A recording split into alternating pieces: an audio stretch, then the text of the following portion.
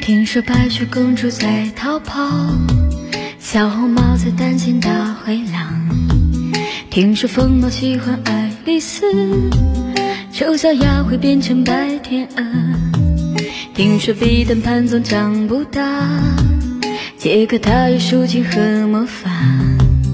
听说森林里有糖果屋，灰姑娘丢了心爱的玻璃鞋。只有睿智的河水知道，白雪是因为贪玩跑出了城堡。小红帽又建议治自己，变成狼的大红袍。